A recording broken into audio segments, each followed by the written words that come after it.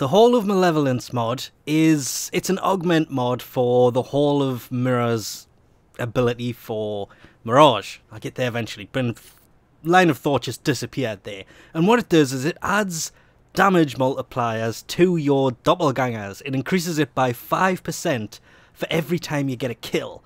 And I missed this one because the only way to get this, and this is why I missed it, Arbiters of Hexis or Cephalon Suda.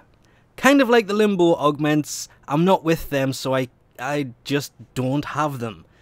But, luckily one of my clan members, uh, Wubong, actually hooked me up with this, which allowed me to do this, because I came across this augment went, why haven't I taken a look at this? And then realised, oh, I don't have it. That's why I haven't had a look at it.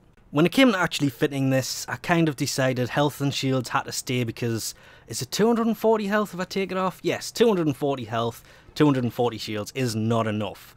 Prime continuity had to go on because Hall of Mirrors is a duration and strength based thing. and there's the building work in the background. So I had to set this up for strength and duration. Uh, I was toying with a fleeting expertise, but it takes away from duration, so that was instantly out. Blind Rage, same thing, but it messed with the uh, efficiency and it took it sub 100 so I thought well we'll try to avoid that.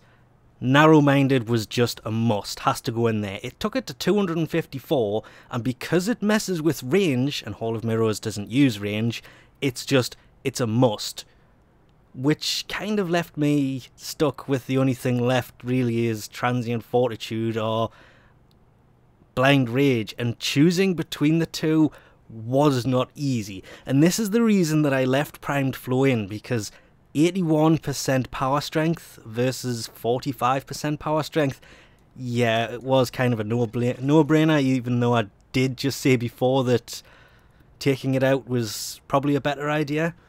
Because throwing on Power Drift means 196% power strength, 254% power duration, Unfortunately, the power efficiency did go below, but if I do put fleeting expertise in, things kind of go really bad because, okay, it does take it into the positives, but power duration goes down. And it, honestly, to me, it's not worth the sacrifice when you can keep the duration and just throw something like primed flow in.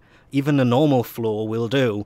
And come on, 638 power, if you can't make that last, you're doing something wrong. There are two major drawbacks to this mod. It's hidden within, well, it's not hidden, it's within Arbiters of Hexis or Cephalon Suda, which can be a pain because 25,000 rep to get it. You've got to be max rank to actually get a hold of it.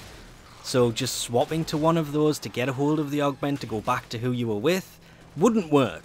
And then when Hall of Mirrors actually expires, the added power strength that this adds gets reset. So once you activate it, you have to stack back up those stacks. On that, it will stack 10 times for a total of 50% more damage, and that became really noticeable when going up against some of the heavy enemies, because it would go from two or three rounds without this augment to throwing it in there and it's almost one-shotting them. It was one-shotting them a few times. And of course, if you put Eclipse on uh, on top of this, that can add up to, I think mine's 3.92 uh, damage multiplier. With, of course, it does have a damage reduction that goes with that, but that's a whole different thing. So, Eclipse with Hall of Mirrors and this augment is, I wouldn't say it's overpowering, but that extra power there was very noticeable compared to not having this on there, and I could not just make any sense out of why I didn't find this augment earlier.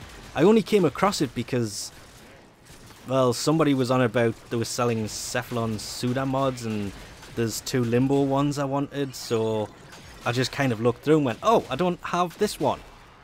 And then I looked at it and went, wow, why don't I have this one?